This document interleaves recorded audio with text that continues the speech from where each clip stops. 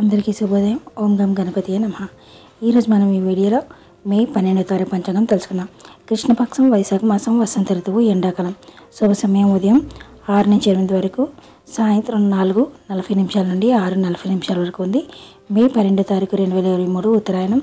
సూర్యోదయం ఐదు గంటల నలభై తొమ్మిది నిమిషాలకు సూర్యాస్తమయం ఆరు గంటల ముప్పై ఐదు నిమిషాలకు తిది సప్తమి తొమ్మిది గంటల ఆరు నిమిషాలకు నక్షత్రం శ్రవణం ఒంటి గంట మూడు నిమిషాలకు యోగం శుక్రం పన్నెండు గంటల పదిహేను నిమిషాలకు కర్ణం బాలవ ఏడు గంటల యాభై ఎనిమిది నిమిషాలకు కౌలవ ఆరు గంటల యాభై ఒక్క నిమిషాలకు రాహుకాలం పది ముప్పై నిమిషాల నుండి పన్నెండు వరకు ఉంది.